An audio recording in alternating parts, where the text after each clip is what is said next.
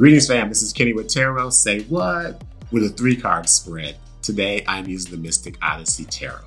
This deck was written by Sarah Longstreth and Virginia Reynolds. It was illustrated by Yana Bolbot and published by Peter Pauper Press. If you haven't checked this deck out, check it out. Okay, my friends, here are the cards. The first card in the past position is the Seven of Wands.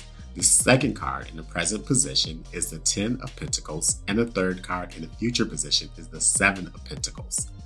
Okay, my friends, hear what the card suggests.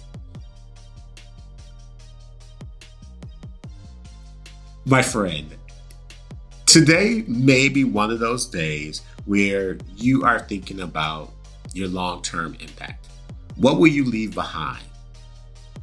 You just come off a big accomplishment, a big victory, and now you've been dealing with people coming at you. Someone wants to snatch your crown, someone wants to take your position, someone, even you, wants to achieve something better, and you might be thinking that your previous victory wasn't big enough.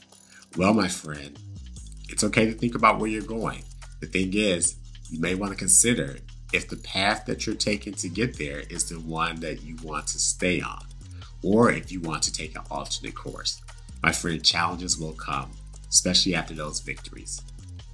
It's okay to think about where you're going in the future, but just also consider if you want to stay on the path or go in a different direction. I love you, my friend, and I'm excited about this for you. Thank you for checking out my video. If you want more, make sure that you're subscribing to this video on YouTube or that you're following me on Instagram. Also, let your family and friends know at Tarot Say What has a message for them too.